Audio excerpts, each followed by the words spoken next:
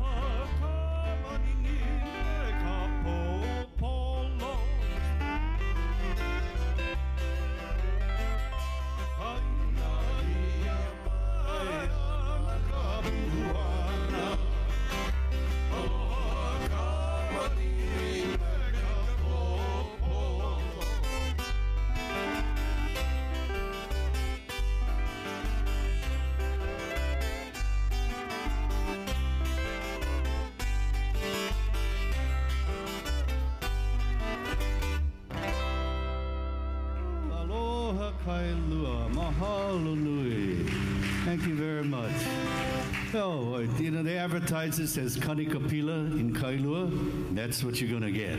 Kanikapila. You know, Alan, Kalani, and I have been around for a long time, and that's our favorite style of music when we're just getting together in the backyard.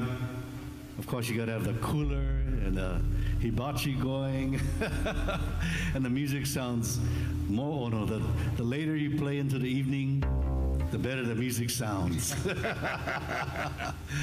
so, you know, we're just very privileged to have Alan filling in for uh, Greg Sardinha today because Greg is in Taiwan, but they're, they're two of Hawaii's most notable steel guitarists, you know, and um, we're so fortunate to have that their level of uh, talent that they have and all the years that they've dedicated to playing uh, the instrument, the steel guitar.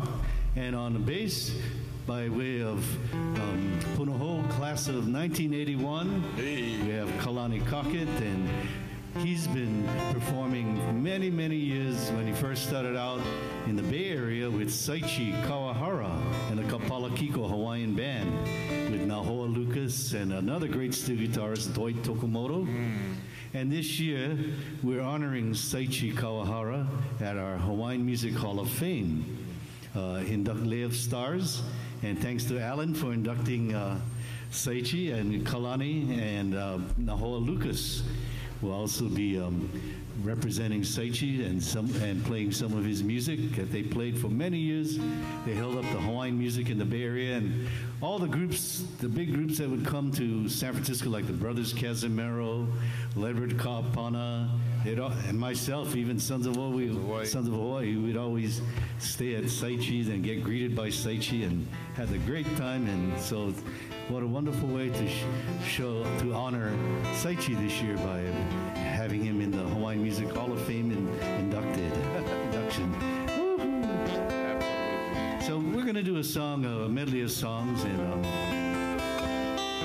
that uh, is our favorite song. Some of our favorite songs are traditional Hawaiian music with uh, Hawaiian ki ho'alu, the, the slack guitar that I'm playing over here with the two necks of uh, my favorite tunings, the C Mauna Loa tuning, and then a G Taro Patch tuning. And Alan is playing a steel guitar in his favorite tuning. Right now it's C6. It's the only thing I have on this. So Hawaiians are very creative in loosening the strings, but the slack guitar first, and which evolved into the steel guitar after Joe Kekuku got a railroad boat in the early 1900s and put it to his steel guitar, and today we have the electric steel guitar. So here's a medley of our favorite songs. Um, uh, Hawaii, the Royal Hawaiian Hotel and Henehene Kou 'Aka. Your laughter is oh so pleasing. And this first song, The Royal Hawaiian Hotel, was written by Mary Pula'a Robins, commemorating the grand opening of that Pink Palace, the Royal Hawaiian Hotel, and all the fine uh, luxuries that are there. Today they call them um, senior living, uh, retirement homes, but the luxuries that they had back then was just oh so wonderful. The silk sheets and the wonderful food and room service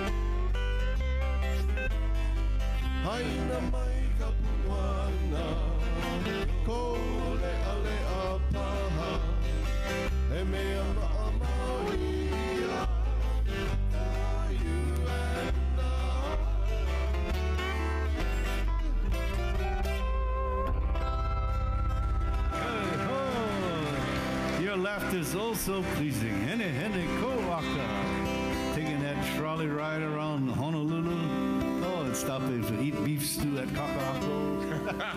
Kalani could use some right now. he had his be good. celebrating his birthday weekend, and he it was hammer time last night at on the, the shores of Diamond Head, Kaimanahila. The music was good. Yeah. Why don't we do that song for you? Last night we had a wonderful, wonderful time celebrating him and uh, his uh, classmate Bitsy's. Um, Kelly. Kelly, Bitsy Kelly's birthday at, at uh, Kaimanahila on the slopes. A beautiful night with a bonfire and and uh, some wonderful beverages. See.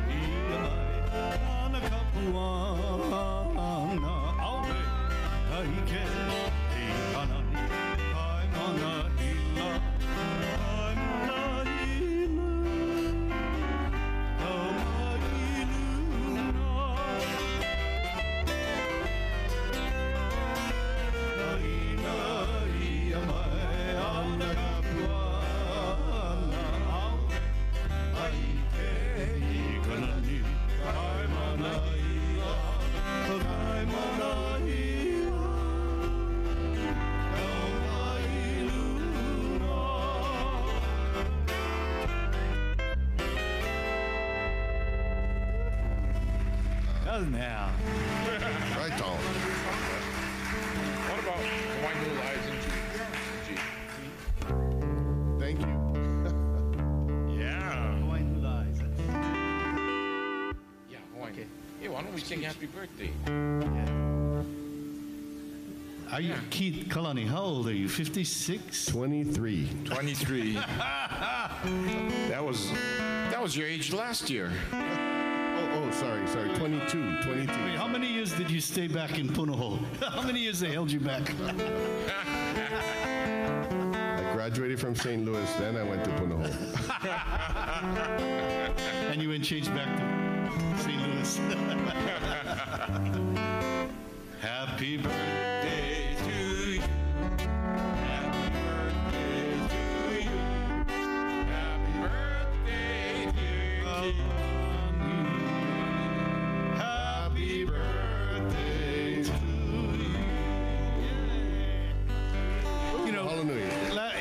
incredible last night. The food that we had, we had all these beautiful corned beef and cabbage on the beach right over there, and we had some single malt Irish whiskey, Sexton. oh my gosh, it's on sale at Tamura's. It's really good. I never knew how good it was until I went.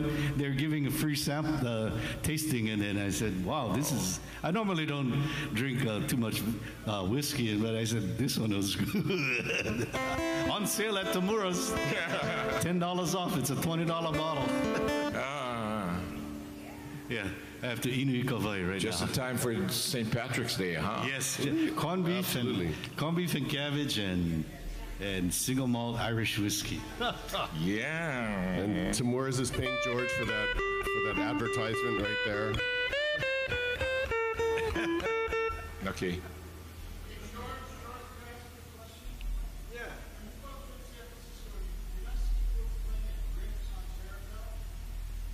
Where is that? Ritz. The Ritz? Rick's. I don't, I don't recall that place. It may have been George Kahumoku. Yeah, yeah, the other George. We get mixed up, you know. I get some call. I was getting a call at my work. I worked at the Board of Water Supply, where every good. I worked at the city and county of Honolulu, where all the good Hawaiian musicians worked. Gabby Pahinui, Sonny Chillingworth, Atta Isaacs, and all the sons, all the children. and then, so I get this call. Hey, George, congratulations, you won the Grammy Award. I go, oh, you meant George Kahumoku. so the, that's why Kavika's up there. He's not, he normally Kavika would be here. He's working really hard, touring and having a lot of fun up there with George Kahumoku and Nathan Aweau, uh, touring the mainland. But we miss that. I'm, I'm, I'm going to go back to San Francisco very soon in, in the Bay Area. Well, that was a regular thing going with when I was with Dennis Kamakahi and Raymond Kane before, and with the Sons of Oi, and then later on with Martin Pahinui and Aaron Mahi.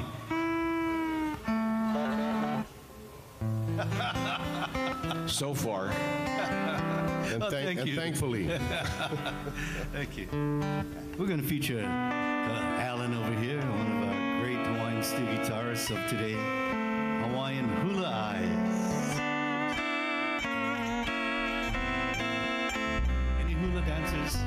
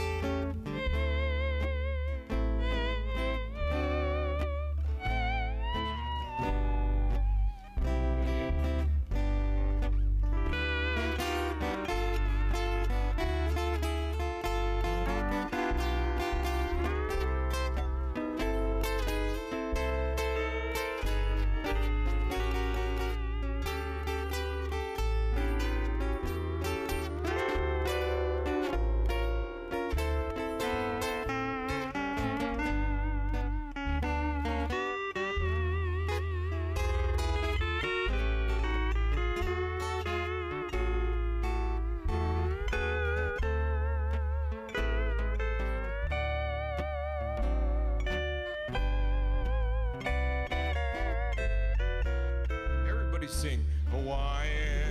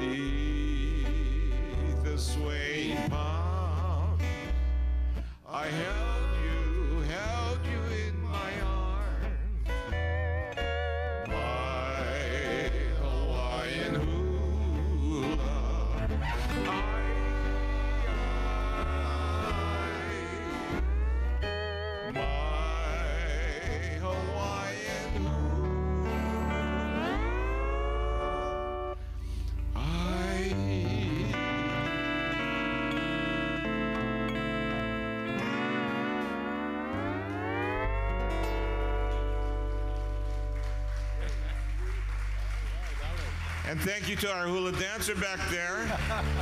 and all those singing along too. well, actually, later on we can do more sing-along songs. Yeah, mm-hmm. I mean there, there are plenty. Pupua o Eva, or, you know, Yeah, all those and the list goes on. Yeah, All those Molokai wonderful- Inui Ahina. all those wonderful Kanikapila songs Yep. that we have. Makalapua, you know, Kanikapila songs.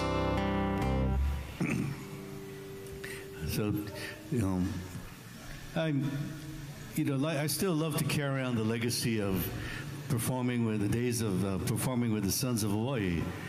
Back then, with Joe Marshall on the bass, and of course Dennis Kamakahi with all the wonderful songs that he's written and left for us today, and the world's greatest ukulele player, the leader of the group, uh, Eddie Kamae, and what Eddie did. Eddie's contribution was bringing back the old music and making it very popular today.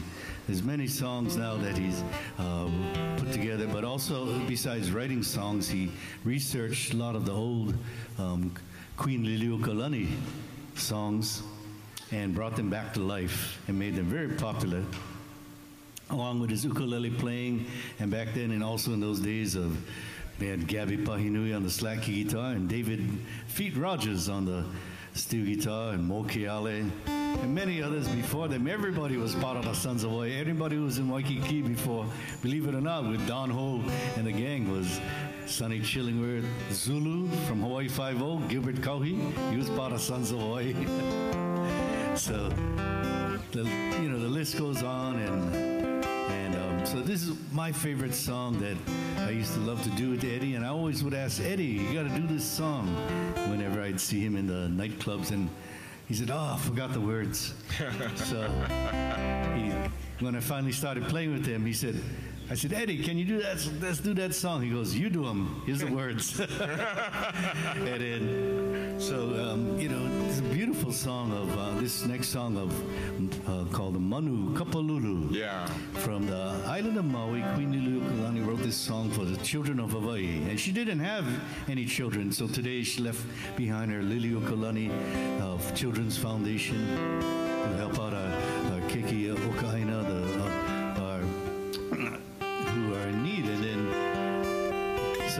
this song takes place in Kilohana on Maui, a very sacred place. And in the chorus, she tells them, Kuli, kuli, auya o, you manu kapalulu. She's calling, not, ta- the manu kapalulu in Hawaii means quail, but she was describing children as noisy quails, like a flock of quails that can't stay still. So she says, be still, listen to me, you know. But when we're growing up, you know, we say, when we're told kuli kuli, that means you better be quiet. Say, oh, shut up, kids, those little kids, you know.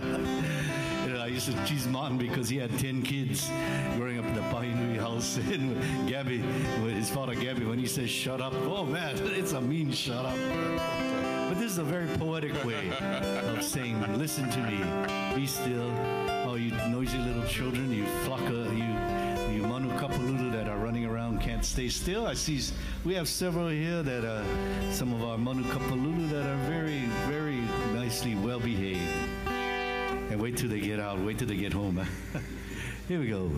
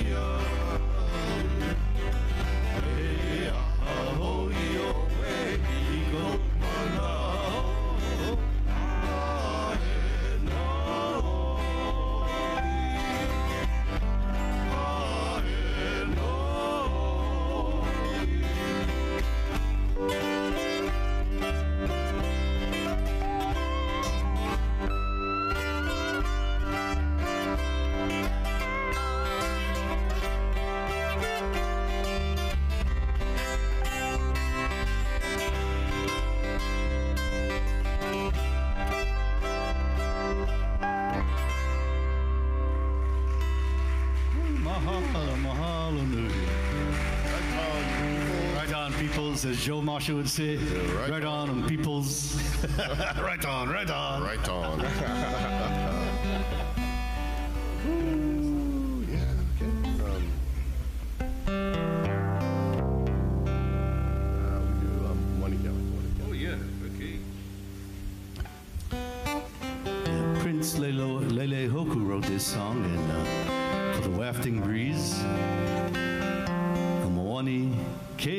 featuring Kalani Cockett. See. And after our long cold spell, now we're wishing for the breezes again.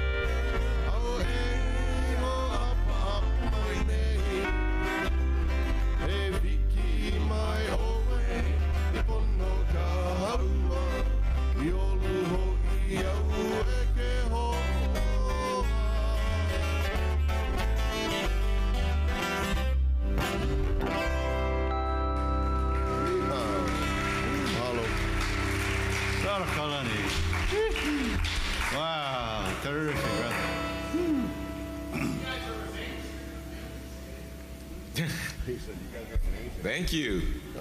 Thank you very much for coming out today.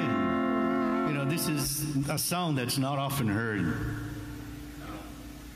And a lot of it is because we're old. We've been around a long time. And we play in garages a lot. this is how we grew up. Just it's a lot of it is give and take. Alan and I, you know, the instruments pawning off of each other, playing together, and just you know give the eye, and that's that's how we, you know, that was a good fun days of just going on and on. Sometimes the song goes on for 20 minutes, you know, half an hour.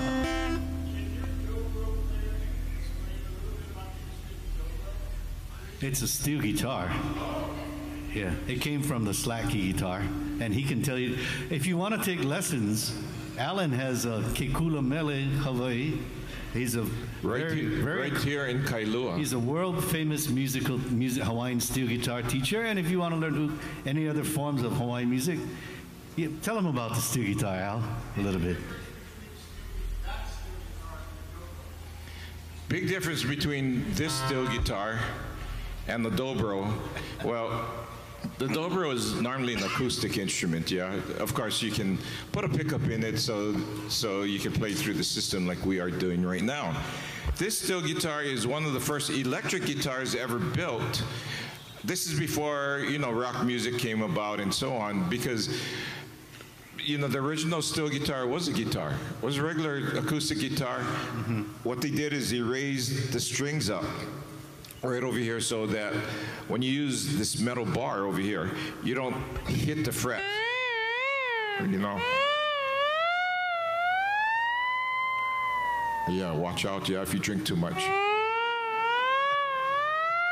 out, Yeah. Here he comes. Okay. The Makai. out, Alan. Here So going way back to 1885, there was a young boy by the name of Joseph Kekuku up in Laie.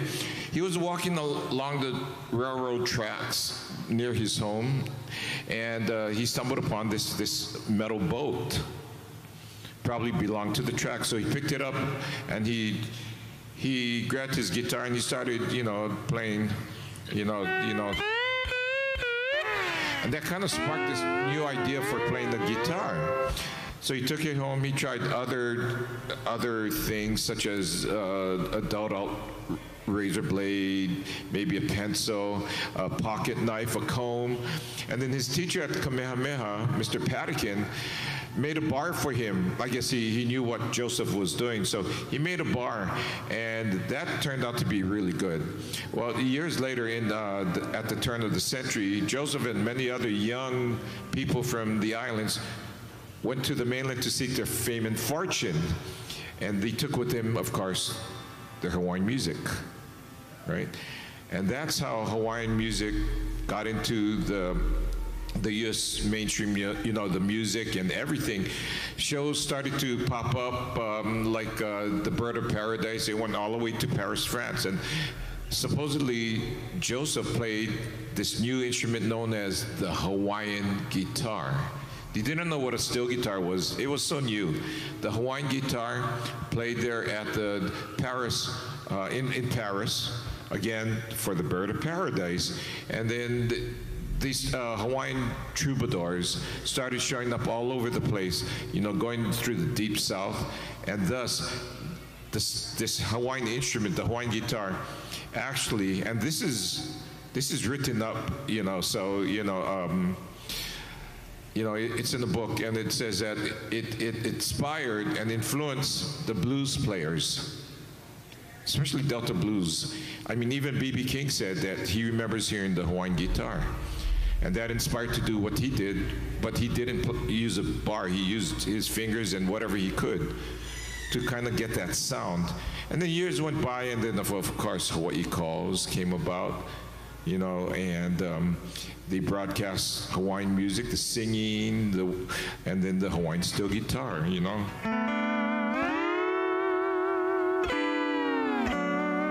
You know, things like that. And um, so, you know, people fell in love with the music. It became very, very popular. Uh, the media was really helping Hawaiian music uh, get across, not only in the United States, but around the world. Recordings, magazines, later on movies. Yeah, do you remember Man Pa Kettle in Waikiki? You remember that? What about uh, Waikiki Wedding?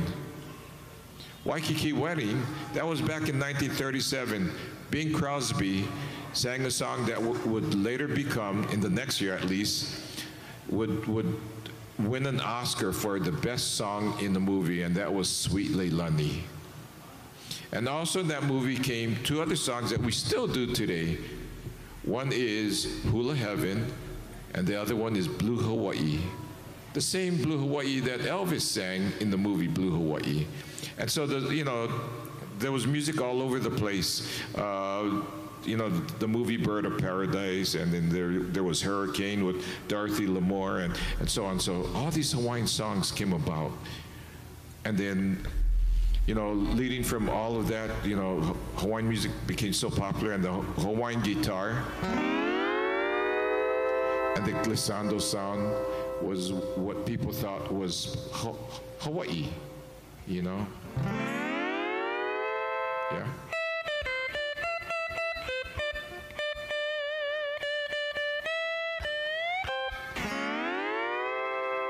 Tunes, right? or, or this. Do you remember this song? This is from a Hawaiian guitar.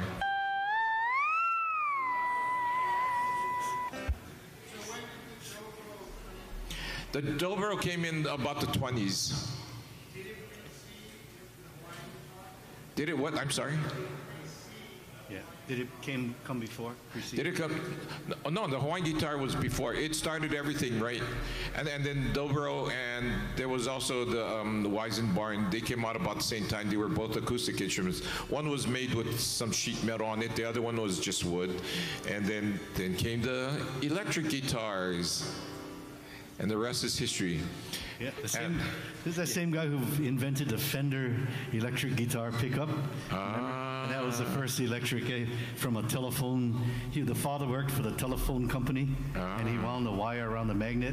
Remember that? and and just to let you know that there was a local boy from Maui that worked for Fender, that supposedly invented the electric bass and, and, and did the Fender uh, speaker cones and everything, and even the Stratocaster. The Hawaiian musicians of the turn of the century, right around 1900, had huge, huge influence on the music of America and the world. Yep. So when uh, Joseph Kekuku was touring the United States and the world with Mekia um, from the Royal Hawaiian Band, they were the Royal Hawaiian Troubadours.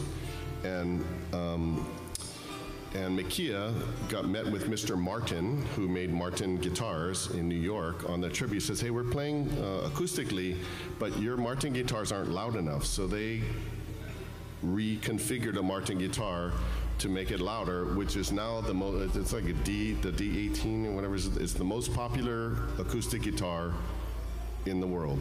That was in 1905 that they they came up with that. And then, you know, the steel guitar preceded the dobro. Um, the Hawaiian, Hawaiians, and that, at that time, actually, Hawaiian music was more popular in the world than it was here in Hawaii. Um, they were at the Chicago World's Fair, they were in the New York World's Fair, they were in Paris World's Fair. Hawaiian troubadours were all over the world when no one was really playing music here, Hawaiian music here. Aloha was the most popular song in the world. Yeah. The Hokulea of music, exactly. Yeah. Well, I like to add my comment. You know, country music became one of the most popular styles today, and everybody plays has to have a steel guitar in their country music. And ironically, in Hawaii in the 70s, 60s, maybe 70s, uh, Hawaiian steel guitar was being lost in terms of the players. You know, the old people, the, the younger guys like my, my age and Alan's age, who weren't learning it and it, ironically, it took a, a, Nashville country steel guitarist to come to Hawaii and re pop, re-energize the Hawaiian steel guitar among my generation. Jerry Byrd, he wanted to become a Hawaiian steel guitarist, and that was, a, you know, the, the uh, what he influenced the younger generation in, of Hawaiians, younger Hawaiians, Oh man, it brought back the steel guitar. Amazing, yep. huh? yeah, yeah. Now there's a lot of us, including elementary school age kids, playing this instrument Yeah. Hey, by the way, one more factoid before we play a song. Do you know in country music, do you remember, anybody remember Jimmie Rodgers, the country singer? Okay, one person at least. Okay, Jimmie Rodgers recorded, he wanted, he recorded, I think in New York. So he hired a Hawaiian band, Lani McIntire and his orchestra. So Lani McIntire had a steel guitarist, and he played on the recording. And that steel guitarist was a Hawaii boy. So the very first country steel guitarist was a Hawaii boy. Can you imagine? it started everything, and look where steel Amazing. guitar is in country music today. Yeah. Amazing, amazing. The yeah. Hawaiians, how they got around. The influence, the influence of Hawaii musicians. Yeah. in today's music. Yeah. Hollywood, the Hollywood steel guitar and today the ukulele Yep. being played with rock and roll bands and Yep. everything. Yeah. Yep. you bet. Heavy metal rock with ukulele.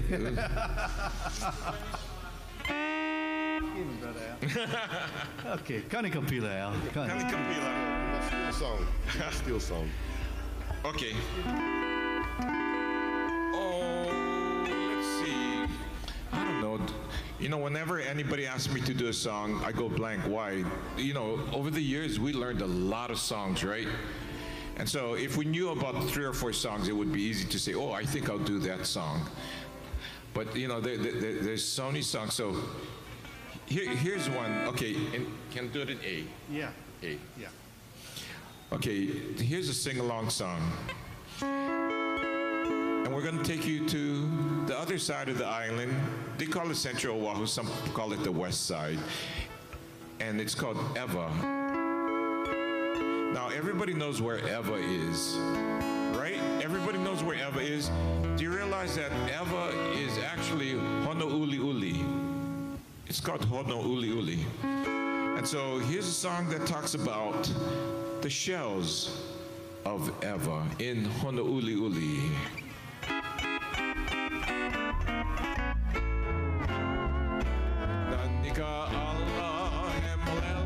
ikmali Uahivi aulana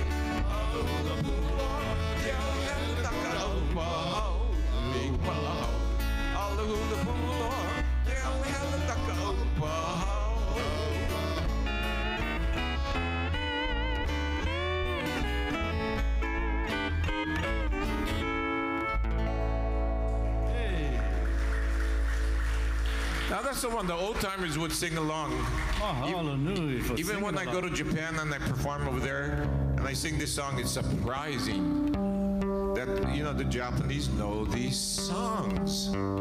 They know a lot of songs, and not not only three or four verses. They know all the verses, all ten of them. It's amazing. Amazing. Yeah. Speaking of influences of uh, Hawaiian music or the ultimate flattery to Hawaiian slack guitar, the style of playing, unique style of playing uh, guitar in Hawaiian way, the world's greatest guitar player. You guys all know him probably, Chet Atkins. You guys know him, right? You bet.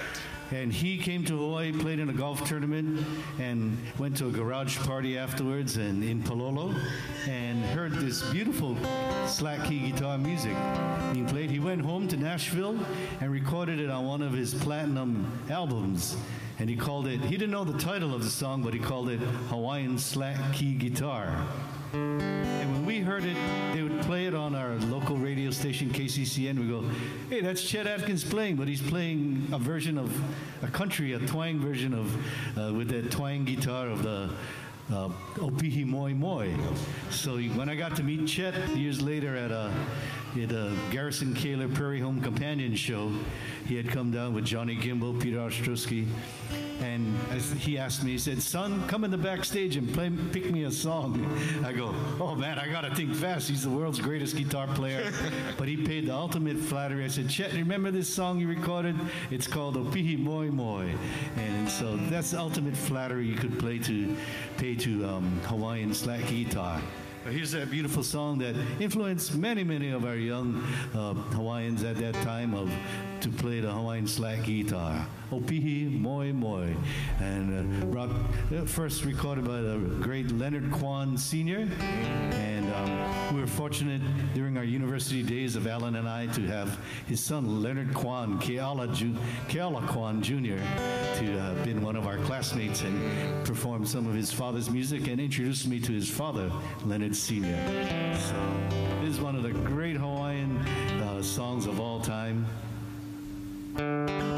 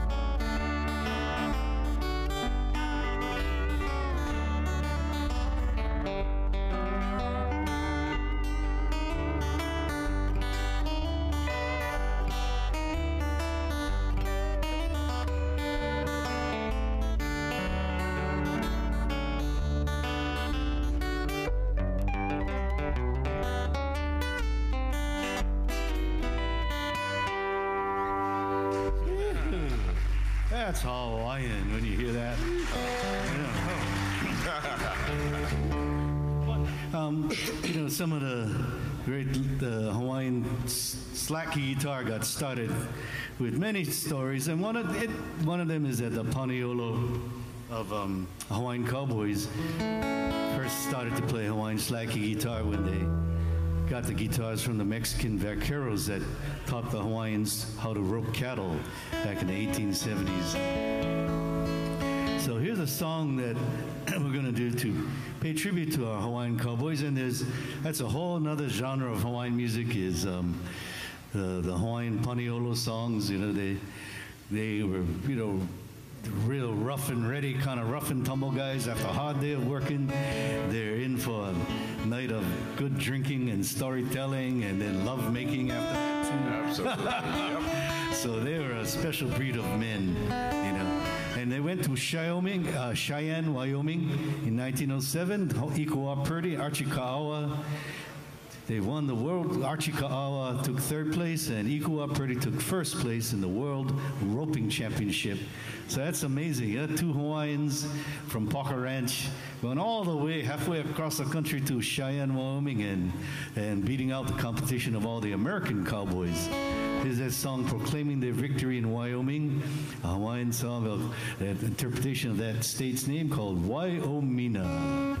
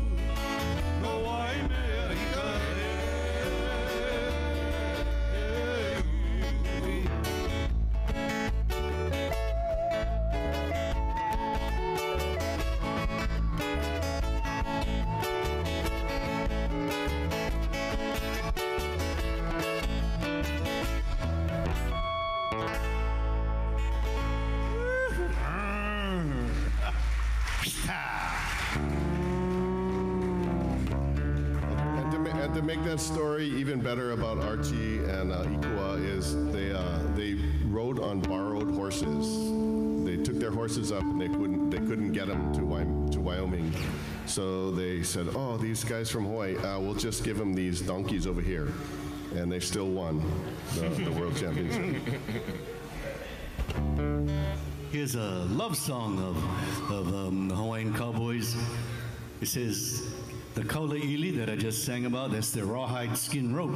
They can crack it like a whip, and it was so amazing the things they could do with that rawhide skin rope, unlike the, you know, the regular jute lariat that the American cowboys would use. So this song was actually, that's the title of this song, is the Kaula 'Ili. Get your rawhide skin rope, get ready to ride and lasso up, but you know what you catch is, it's going to be your prize, your trophy. And there's many, many verses of this song. We're only going to sing two, but they go on and on. The next guy would come on and sing his verse and brag and do one better than the next guy. So can you imagine around the campfire at night singing, bragging of their bravado of what they lassoed?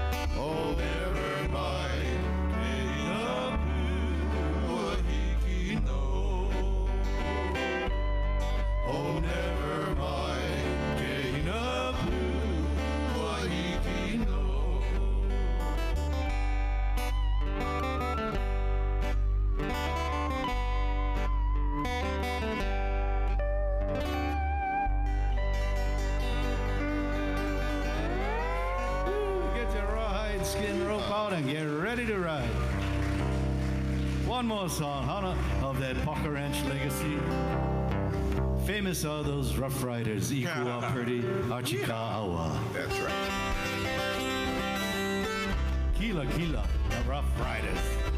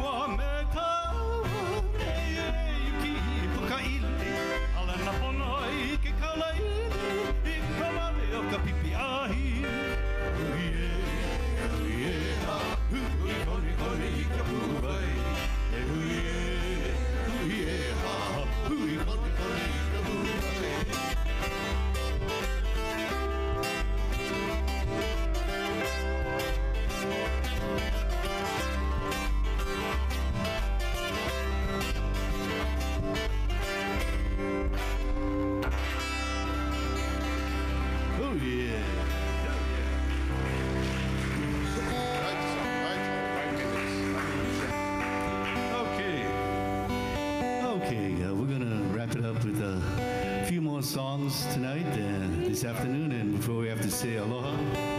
How about if we have Kalani do um, a song that uh, Yeah. is um, it, I like this is one of my I like this song because it sings of the hardworking Georges out there. Hanakeoki. How many hardworking Georges does anybody know? Well, no, not only me.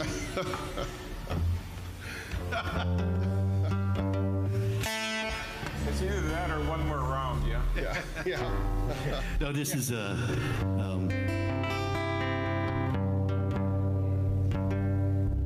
uh, King David Kalakaua's fleet of racing canoes, and this was his favorite canoe that would always win. Hanakeoki.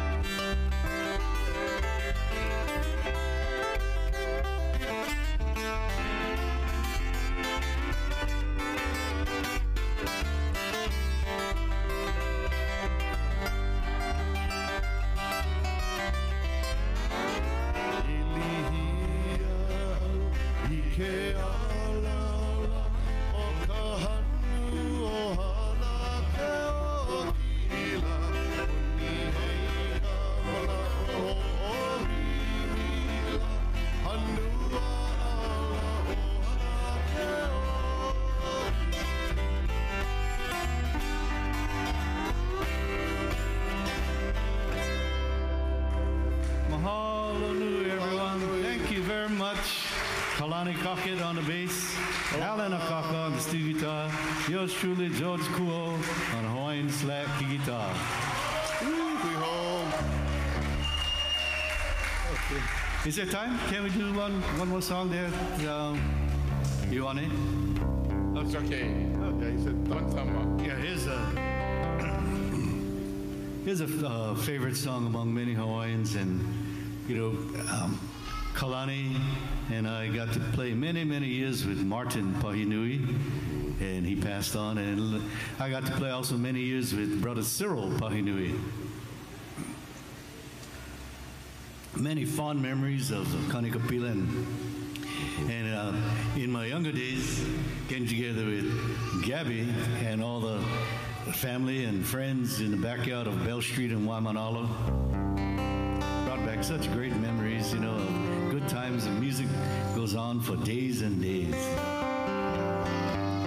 And um, I was doing a funeral uh, service this morning. One of my close friends' uh, mom passed away at the Mililani Memorial Park, and that's where Sonny Chillingworth, another one of the great Hawaiian uh, musicians and slack guitarists, he had his services over there, and just brought back memories of Cyril. Uh, and I being over there with Tony B.